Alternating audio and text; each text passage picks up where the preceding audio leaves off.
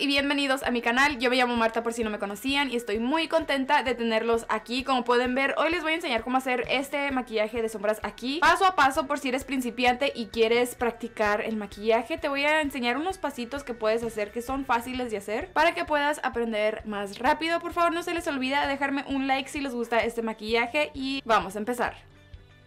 Primero, para limpiarme las cejas, estoy usando el corrector de LA Girl Pro Conceal. Y este es el corrector que uso la mayoría del tiempo que me limpio las cejas. Y también lo voy a usar como un primer para las sombras o prebase, como ustedes le digan. Y después de limpiarme las cejas de abajo, voy a agarrar poquito más del mismo corrector con mi dedo. Y así me lo voy a aplicar en el párpado y difuminar bien en las esquinas en el corrector que ya tengo abajo de las cejas. Que esté todo bien difuminado antes de sellar el corrector. Y el corrector va a ayudar a que se mire el párpado parejo, te cubre las venitas que se ven y si tienes el párpado grasoso, teniendo este corrector va a evitar que se te haga bien grasoso. Normalmente lo sello con un polvo compacto, pero se me quebró. Bueno, mi perro lo quebró. Pero está bien, nomás voy a usar el polvo translúcido de Anastasia con una brochita media, medio grande para sellar el corrector. Lo voy a hacer en toquecitos primero en el párpado antes de que se me seque completamente. Y luego en el hueso de la ceja, en las esquinas, en todas partes que puse el corrector. Ya después de que esté bien sellado, voy a quitar el exceso de polvo con la misma brochita. Hoy voy a estar utilizando esta paleta de Anastasia y Jackie Aina. Está hermosísima esta paleta y la primera sombra que me voy a aplicar va a ser esta rosita de aquí. Esta sombra la voy a usar como una sombra de transición más o menos para poder difuminar las sombras oscuras mucho mejor. Y sellando el corrector también se te va a hacer más fácil difuminar las sombras. Para eso estoy usando la brochita de BH Cosmetics y me lo estoy aplicando en la cuenca y lo voy a seguir difuminando y aplicando más de la misma sombra encima hasta que me guste el tono de la sombra. O sea, la intensidad de la sombra quiero que se note mucho esta sombra rosita. Voy a difuminar la sombra con esta misma brochita, pero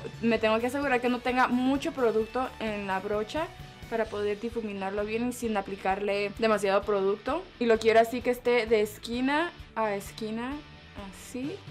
Si es como un arco iris, nomás me lo aplico así. Y pueden ver así con el ojo abierto, o sea, mirando hacia arriba. Se mira, se nota mucho la sombra y está más arriba de la cuenca. Quiero que se note para que mi ojo se mire grande. Quiero que se note mucho la sombra teniendo el ojo abierto. Ahora voy a agarrar esta sombra de aquí. Estoy usando esta brocha chiquita. No sé si tiene nombre esta brocha, pero es de Sonia Kashuk. Y esto primero me lo voy a aplicar en la esquina exterior. Lo voy a aplicar en toquecitos, en el puro párpado. Y ya que está en el párpado, poco a poco lo voy a empezar a difuminar hacia arriba la cuenca y hasta la esquina exterior, pero eso lo voy a difuminar en movimientos circulares porque como dije quiero que se mire así redondo y también aquí le voy a hacer igual, nomás le voy a seguir agregando la sombra hasta que me guste la intensidad de esta, del color de esta sombra. Y voy a hacer lo mismo en la esquina interior.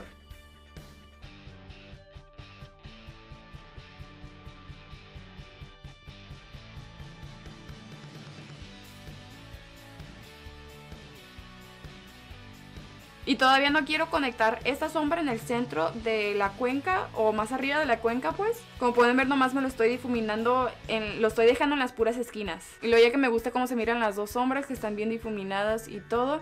Con lo que quede en la brocha los voy a conectar aquí en la cuenca porque solo quiero un poquito de esa sombra aquí y no mucho en el párpado porque todos modos se va a tapar.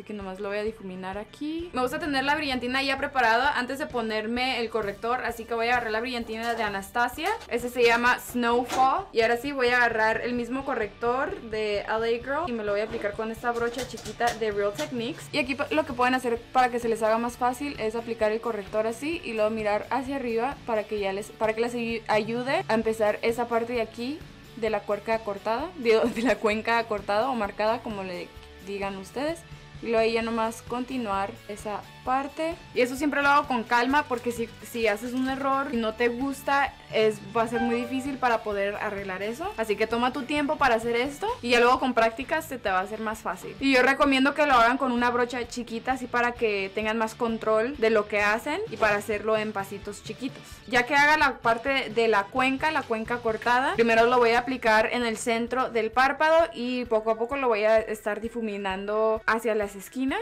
y que quede bien difuminado para que la sombra o la, el brillito que te vayas a poner encima se mire también difuminado, que se pueda difuminar bien.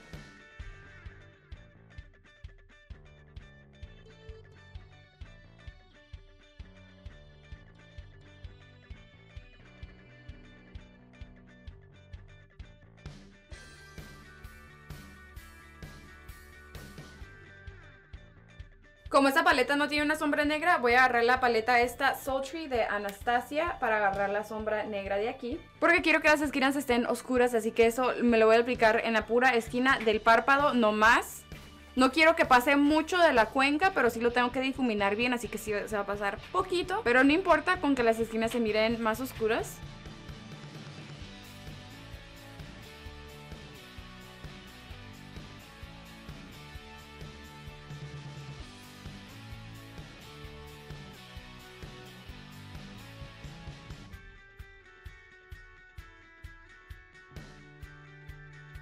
Me voy a aplicar estas pestañas de Anastasia, ya salieron en su página, así que si las quieren comprar voy a poner la caja, digo, la página en la caja de descripción abajo. Ya que tenga mis pestañas hermosas puestas, ahora me voy a poner... Ah, no, no, no, este no sigue, sigue el delineador en la línea de agua. Voy a usar el que siempre uso, LA Girl Shockwave Neon Eyeliner. Y solo me lo voy a poner en la línea de agua. Y ahora sí voy a agarrar el rímel de Milk Makeup contra el agua y me voy a poner en las pestañas de abajo nomás. No me voy a poner sombra en la parte de abajo y quiero que mis pestañas pestañas naturales se miren bonitas, o sea, así naturales, sin mucho rímel. Y bueno, ya fue todo para este video. Ojalá y si les haya gustado, ojalá y si les ayudó este tutorial. Díganme en los comentarios qué es lo que piensan y por favor no se les olvide a dejarme un like. Díganme en los comentarios qué otros tutoriales quisieran ver. Muchísimas gracias por todo su apoyo. Los quiero con todo mi corazón y los veo en el próximo video. Bye!